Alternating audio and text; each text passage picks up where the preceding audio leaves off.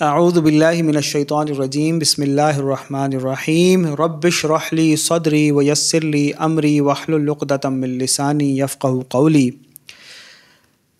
सुनन अल दारकुतनी की एक हदीस है जिसके अंदर आप सल्लल्लाहु अलैहि वसल्लम की वो रवायत हम तक पहुँची है कि जिससे आज के दौर के वाक़ात बड़े क्लियर हो जाते हैं।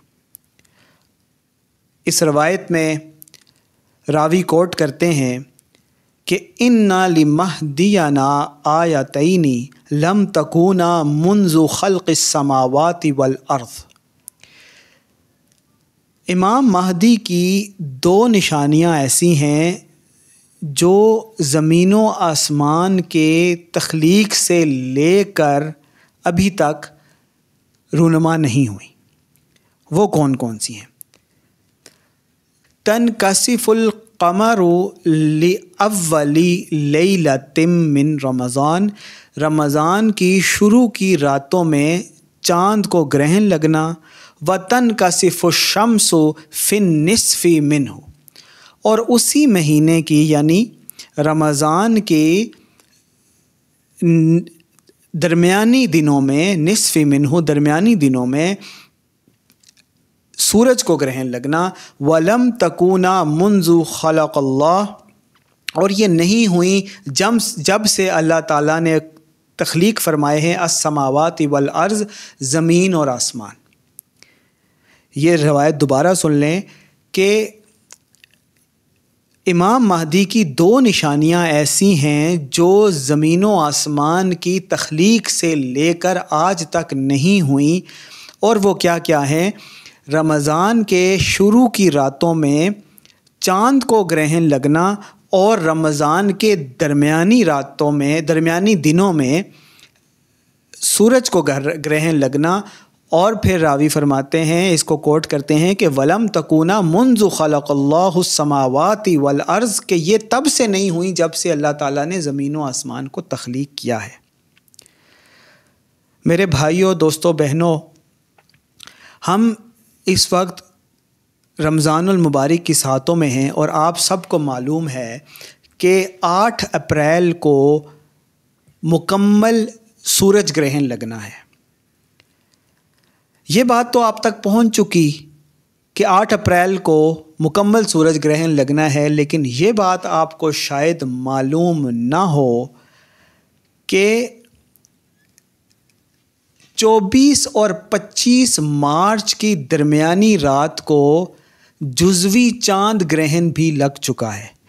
ये चाँद ग्रहण, जुजवी चाँद ग्रहण था, इसलिए इसके बारे में ज़्यादा बात नहीं हुई।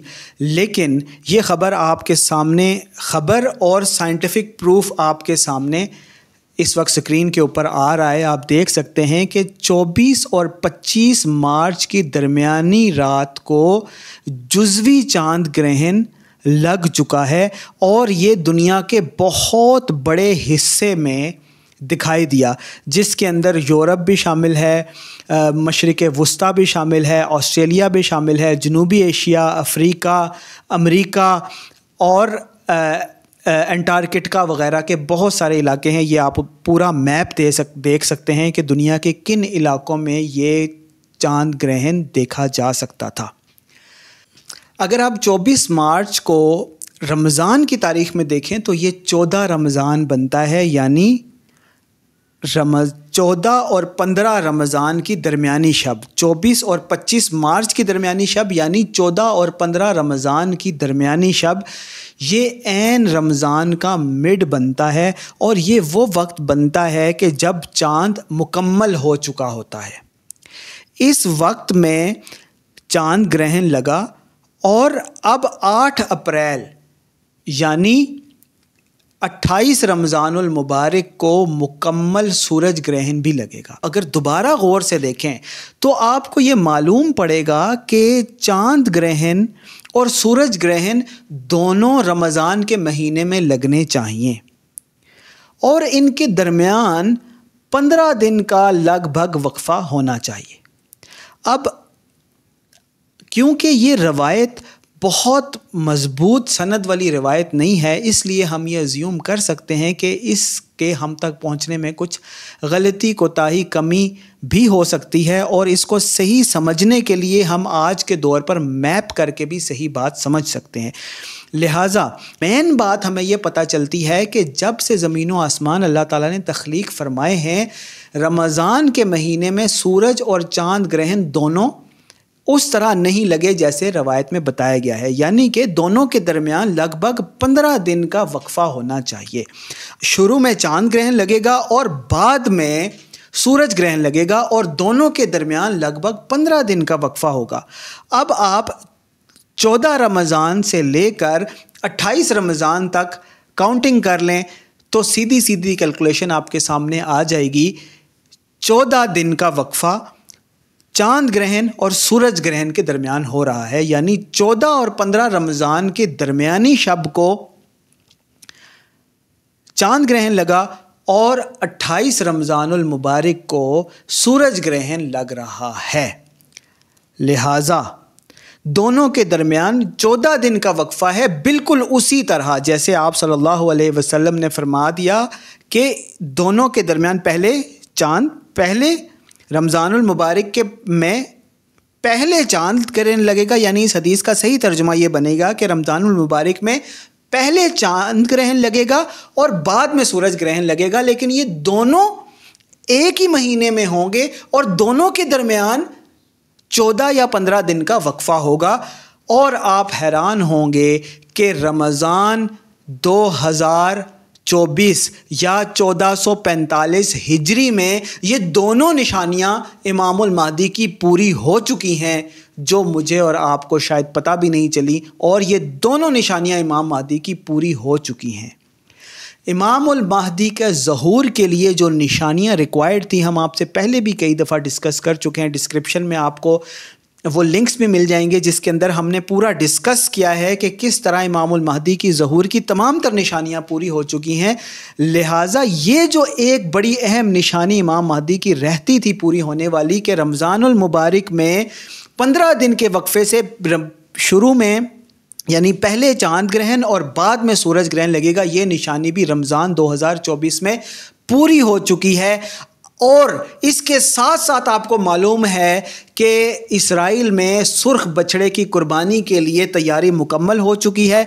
पाँच बछड़े अमेरिका से उन्होंने इंपोर्ट किए थे, जिनमें से चार बछड़े उतनी उम्र को, यानी तीन साल की उम्र को पहुँच चुके हैं। अब उन्होंने उन चार बछड़ों को, या उनमें से किसी एक को ज़बा कर कर मस्जिद अक्सा को गिराने की एक रिक्वायरमेंट भी पूरी कर लेनी है और अपना थर्ड टेंपल बनाने का, या शायद वो बना भी चुके हों मस्जिद अक्सा के नीचे। उसको मस्जिद अक्सा को जब गिराएँ तो वो सामने आ जाए।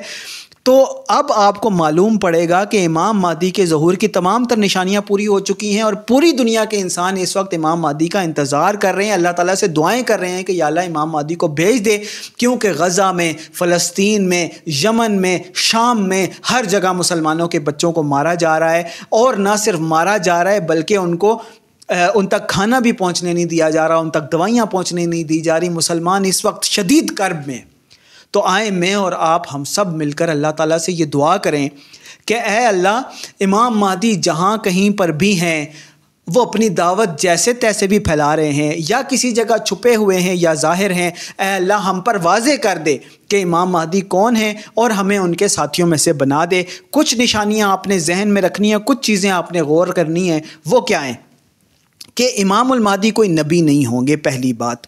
आप सल्लल्लाहु अलैहि वसल्लम के ऊपर नबूवत का सिलसिला ख़त्म हो चुका है, लिहाजा इमाम मादी कोई नबी नहीं होंगे। लेकिन इमाम महदी के बारे में आप सल्लल्लाहु अलैहि वसल्लम ने फरमा दिया कि अल्लाह ताला उनकी एक रात में इसलाह फरमा देगा। तो दूसरी बात यह कि इमाम महदी कोई पहले से बहुत नेक बाज और साले शख्स नहीं होंगे, यानी वो क्लीन शेप भी हो सकते हैं पेंट शर्ट में भी आ सकते हैं, वो कोई आम शख्स भी हो सकते हैं। आप एक ख़ास पर्सनैलिटी जो एक बड़ी सी पग और बड़ा सा चोगा और बड़ी सी दाढ़ी वाली पर्सनैलिटी ढूँढने की कोशिश कर रहे हैं। ये एक्सपेक्टेशंस बिल्कुल छोड़ दें। इसलाह से पहले यानी इमाम और खिलाफत के अहदे पर आने से पहले वो एक आम शख्स होंगे जिनकी अभी इसलाह नहीं हुई होगी। दो बातें। तो पहली बात यह कि इमाम मादी कोई नबी नहीं होंगे। नबूत का सिलसिला ख़त्म हो चुका है। दूसरी बात यह कि खिलाफत की ज़िम्मेदारी संभालने से पहले वो आम शख्स होंगे और कोताहियों के साथ होंगे, उनकी असलाह होनी होगी। अब यही दो बातें सिर्फ़ आप ले लें तो आपको पता चलेगा कि इमाम मादी के ऊपर कोई वही नहीं आती होगी। तो फिर अल्लाह ताला उनकी एक रात में इसलाह कैसे फरमा देगा? तो इसके लिए आप याद रखें कि रसूलुल्लाह सल्लल्लाहु अलैहि वसल्लम ने फरमाया कि नबूवत और रिसालत का सिलसिला मेरे ऊपर ख़त्म हो चुका है, लेकिन सिर्फ़ एक चीज़ बाकी है नबूवत की निशानियों में से और वो है मुबशरात। साहबा ने पूछा, मुबशरात क्या है? आप सल्लल्लाहु अलैहि वसल्लम ने फरमाया कि वो सच्चा ख्वाब, जो कोई शख्स अपने बारे में देखे या कोई उसके बारे में देखे। इसी तरह आप सल्लल्लाहु अलैहि वसल्लम ने फरमाया कि एक सच्चा ख्वाब जो है नबूवत का छियालीसवां हिस्सा है। यानी सच्चे ख्वाब की सूरत में अल्लाह ताला अपने बंदों से आज भी कलाम कर सकता है, आज भी उनकी असलाह फरमाता है और आज भी अल्लाह ताला सच्चे ख्वाबों के ज़रिए लोगों तक अपना पैगाम पहुंचाता रहता है।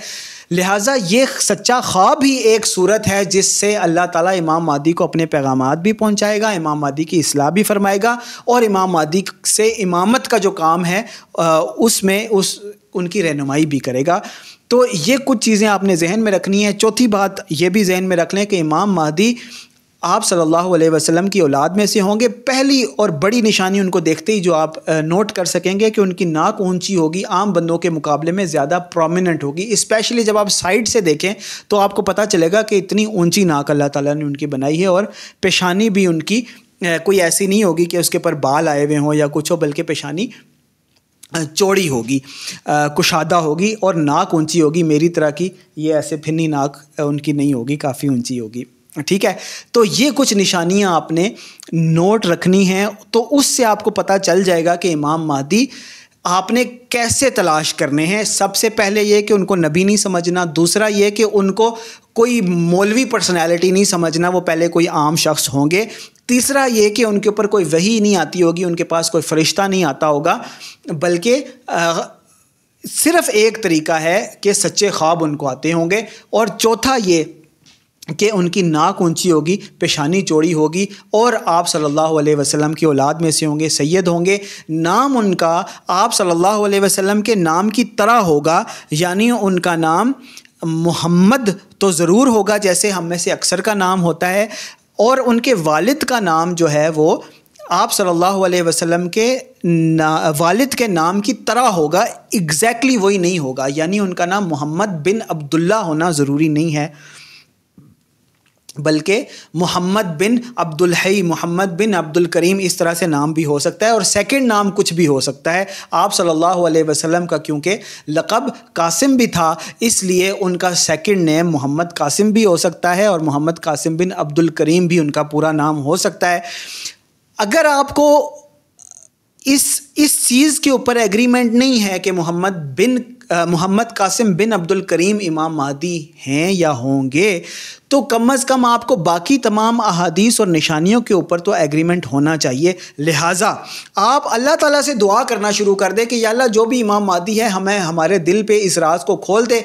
हम उसे कबूल करने के लिए तैयार हैं। और बाकी एक बात डंके की चोट जो अल्लाह ने अपनी लोह पर लिख दी है और कलम खुश्क हो चुके लोह का दरवाज़ा बंद हो चुका और वो कलम पर आ, कलम ने जो बात लिखी लोह पर जो लिखी और कलम खुश्क हो चुके लोह का लोह की किताब बंद कर दी गई। वो यही कि मोहम्मद कासिम बिन अब्दुल करीम ही इमामुल महदी होंगे। जिसको ये बात पसंद है, कबूल कर ले। नहीं पसंद तो अल्लाह जाने, उसका मामला जाने। और हम में से अक्सर मुसलमान आज यही बन चुके हैं कि वो सबसे पहले इमाम मादी की मुखालफत करने वालों में शामिल हो चुके हैं। अल्लाह ताला हमें उनमें से ना बनाए। अकूल कौली हाजा वस्तफ़रली वलकुम वलिसालमसलिमिन वलमसलिमात अल्लाम सल सैदिना महमद व अला आल महमद व अला इमामदी व अला असहाबी अच्छा इसको अब इंग्लिश वाली को भी कर लें। मैं भाई पहले फ्रेम देख लें मैं अपीलिंग फ्रेम से दिखा पिक्चर दिखाओ वो मोबाइल देना है मोबाइल कैमरा खोल के दे